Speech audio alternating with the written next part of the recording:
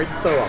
こんにちはフォーリンデブハッシュです。今日はですね恵比寿にやってきました。ねもう恵比寿で以前はしご飯って言ったらねハンバーグだとかいろいろね食べ歩いた動画以前上げてますのでそちらもねぜひチェックいただきたいですが今回はね100日ハンバーガー生活中ということなのでちょっとねもうそろそろハンバーガー飽きたよと思われてるかもしれないですけれどもちょっとね新しいハンバーガー求めて恵比寿ではしごしたいなと思います。行きたいところがあるのよ。バーガーマニアっていうお店で恵比寿と広尾と白金に3店舗構えるところなんだけど10月末までのね期間限定メニューがあってこれがねもうめちゃめちゃ美味しそうだからそれを狙いにね行こうかなと思うので最後までお付き合いください。それでは突撃。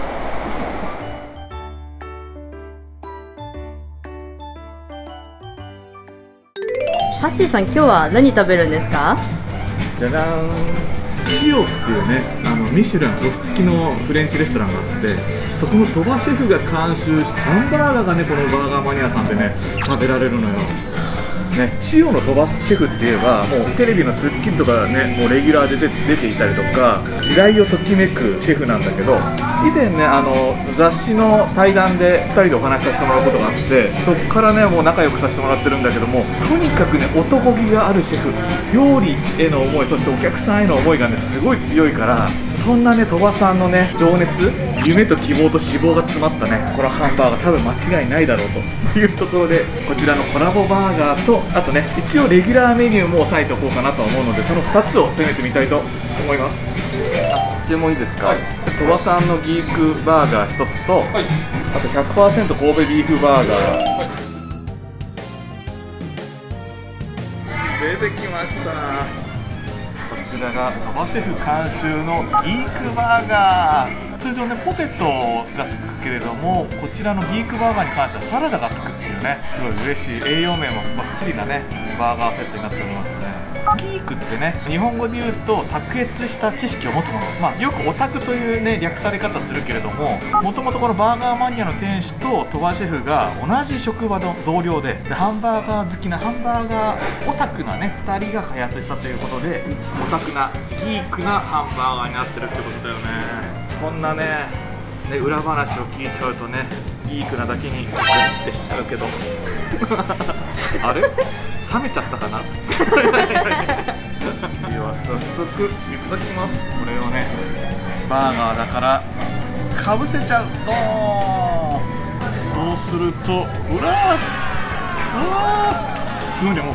かぶりつく前からこのバーンズのふかふか感がね指に伝わってくるね。まるで自分のお腹触ってるみたい。いつも通りバーガー袋にドーンいただきます。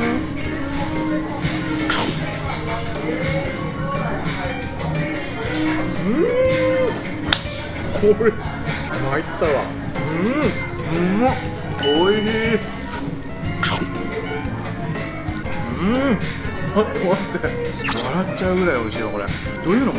バーガーマニアさん。ならではのね神戸牛100%の手切りしたパティこれがさすごい肉のゴロゴロ感があるんだよね。それがさまず全面におしょってするんだけどそれをサポートするかのようにバターソテーした玉ねぎがたっぷり入ってるの。玉ねぎが甘みがあってね和牛パティを優しく包み込むんだよね。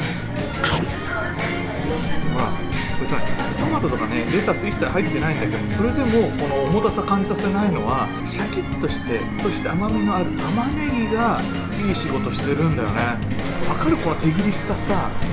ゴロゴロっとしたチョップドステーキのようなねそんなこの手切り感があるよね。さらにねこのチェダーチーズとかねそれがクリーミーに、ね、合わさるんだよね。うん。噛みしめば噛みしめるほどまた違う味わいが広がっていくね。というのもなんだろう。あれだ。粒マスタード下にね隠し入れてるからこれがプチッとした食感とともにねちょっとした酸味を加えてくれるんだよね。だから余韻まで素敵なのかな。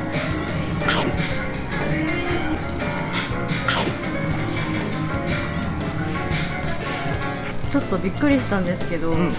コラボ商品って、うん、ちょっと突飛なものが入ってたりするのが面白さだったりするじゃないですか、うん。うん、ものすごくシンプルなハンバーガーだなと思って。これね見た目ははシンプルだけど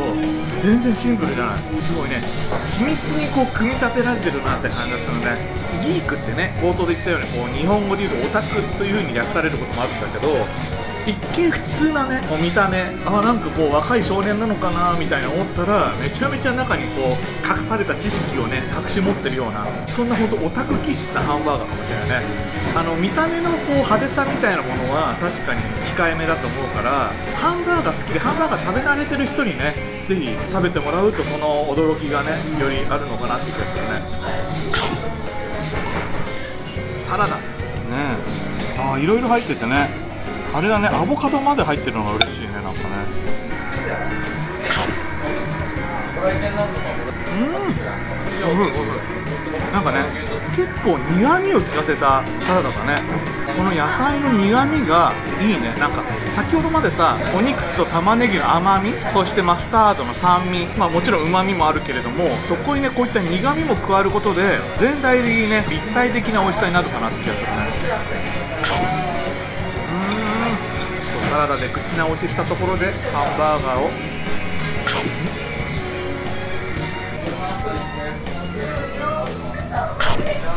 これ深くバンドもね全く重たさがなくてい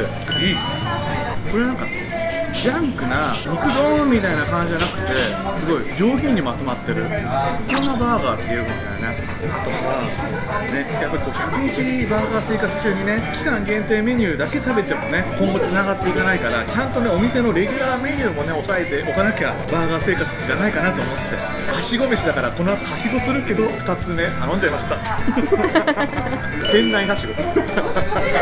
バーガーマニアさん代表するねあの神戸牛100%バーガーね。先ほどと同じね神戸牛100%パティにこちらはベーコンまで乗ったねハンバーガーだけどこれもガーンでしたね。ほら美味しそうでしょレギュラーバーガーもいただきます。うん。うん。全く顔つきが変わった。美味しい。こちらはよりワイルドだね。手切りしたお肉のゴロゴロ感は同じくね魅力的なんだけど結構ねブラックペッパー効かせたピリッとスパイシーな感じだから急に男を出してきたってこう